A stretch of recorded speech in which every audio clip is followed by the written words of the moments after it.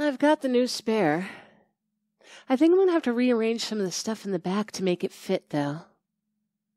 How's the replacement antenna coming? Well, look at you, little gearhead.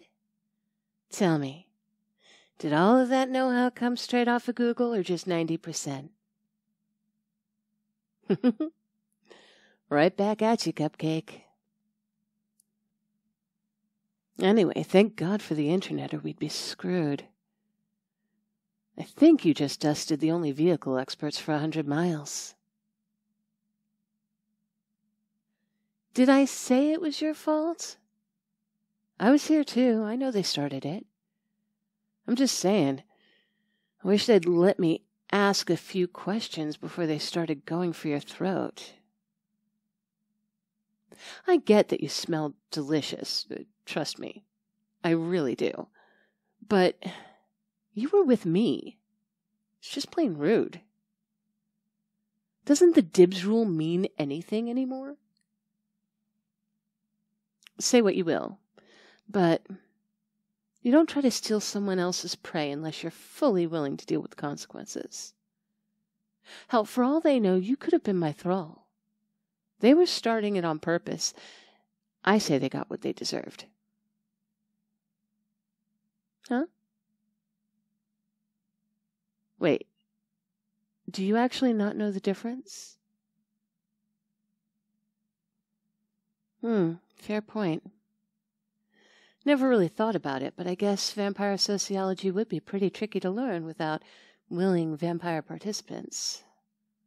I mean, when it comes to biology, you can just strap one of us down and pull out the scalpels, but if I don't want to tell you about the latest trends, there's nothing you can do to make me.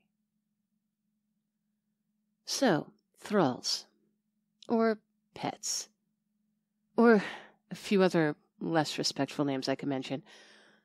Uh, honestly, pet might be the more accurate than thrall. But.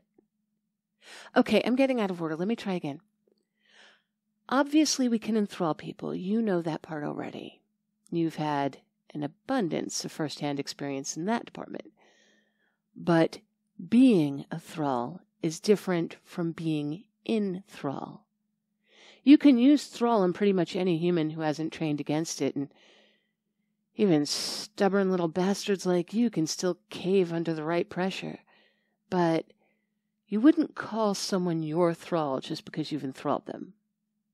Hell, thralls don't even have to be enthralled. That's just the etymology. Etymology? Word history.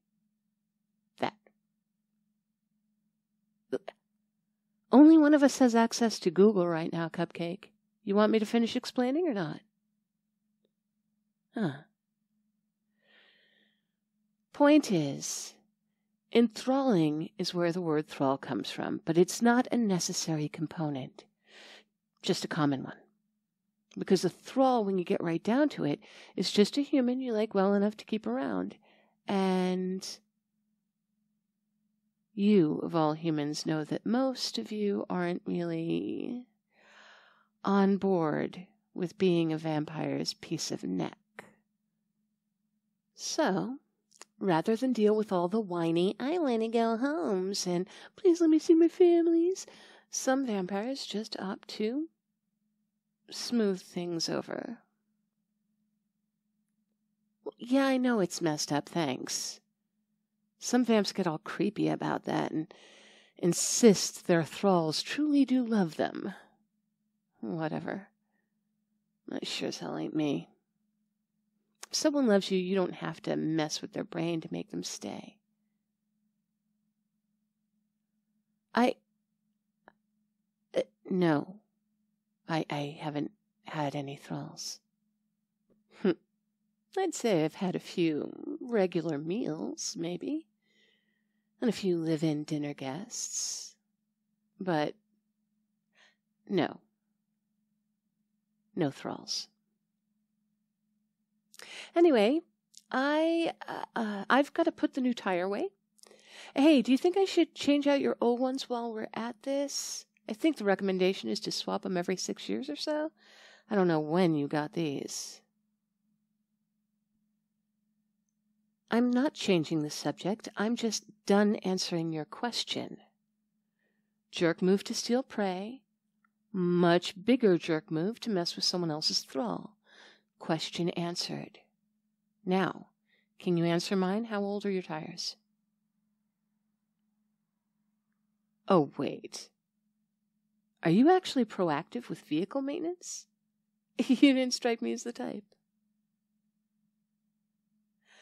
Uh, Wild feels the need to color code your instructions, Cupcake, and I just pulled out a trash bag containing what I remember to be a chainsaw covered in, uh, yep, vampire blood. Out of the back of your car? That isn't the hallmark of the world's most organized person.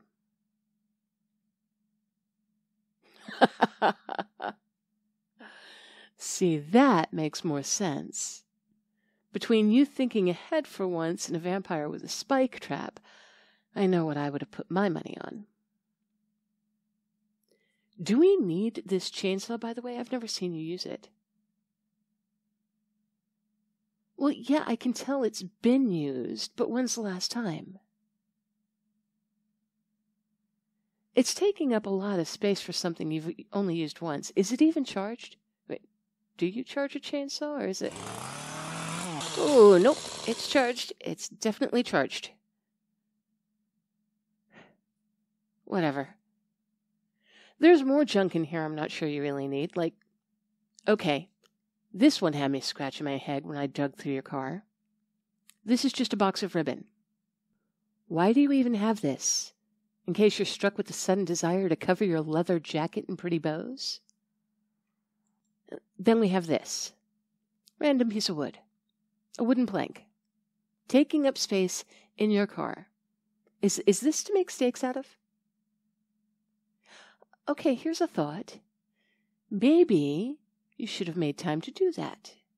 Then you could put them in with the rest of your deadly weapons, and I wouldn't have a four foot board to play car Tetris with.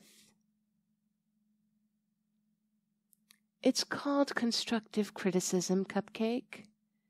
If you're allowed to say I should stop eating people, I'm allowed to say you should clean out your car.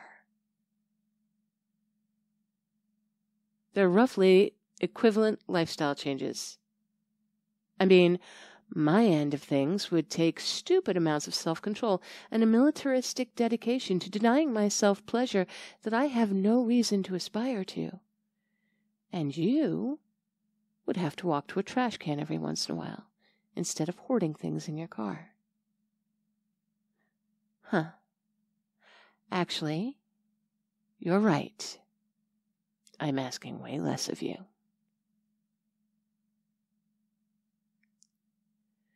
Cupcake, I just found an empty bottle of Pepsi Blue back there. This was discontinued in 2004. Look me in the eyes and tell me that sounds normal to you. I'm just saying. The first step is admitting you have a problem. I don't know.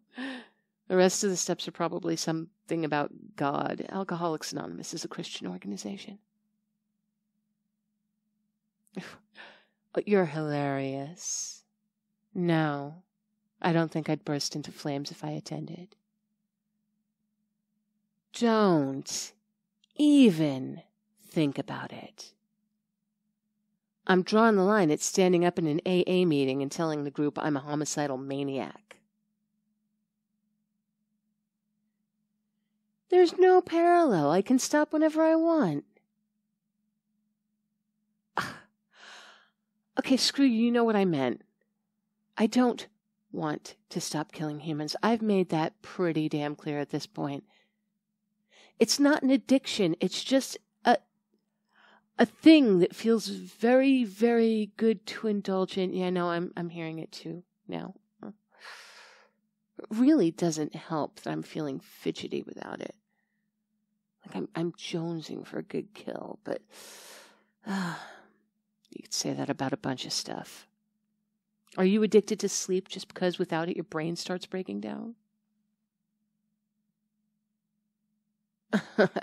no. offing other vampires with you wouldn't help. Didn't help. It, it's not the same. You're never going to get it, okay? You're human. You're an omnivore, for crying out loud. I'm 100% predator. There's a completely different set of instincts rattling around in here. yeah. Okay, but you could quit hunting if you wanted to. You could move out to the sunny coast and never think about vampires again. Can you honestly say that you feel an urge to kill? Or just a moral obligation to stamp out the undead? That's what I thought. Squeeze the tire in. How's it going up there? Hmm, not bad for someone who doesn't actually work here. You ready to take it for a test drive?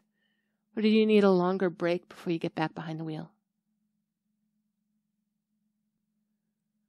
Well, I'd say we could stop for the day, but somehow I doubt that the sudden disappearance of an entire pit crew and the discovery of a dumpster full of bodies will shine well on the strangers who just crashed into town.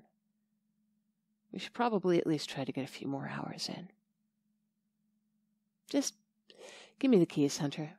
I've been driving longer than you've been alive. I promise I won't crash your baby.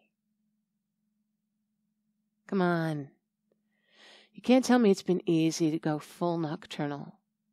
You can grab a nap in the passenger side until we get close to town, and I'll wake you up so you can find us a hotel.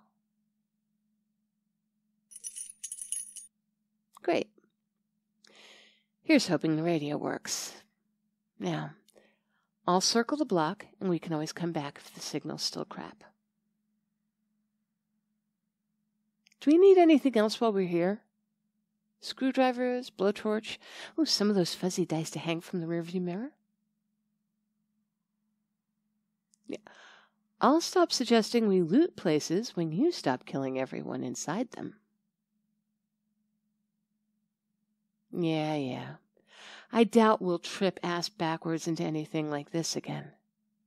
Seriously, the odds of this happening had to be astronomical. You really do have the worst freaking luck, Cupcake. I have no idea how we managed to find one vampire in the whole damn country who could stomach a gas station stench for more than five minutes. Okay, we don't need to get into who specifically wanted to stop for a blood break, and who else is an irresistible snack who keeps luring all the vampires in. Just let's put all the blame squarely on your shoulders and stop equivocating.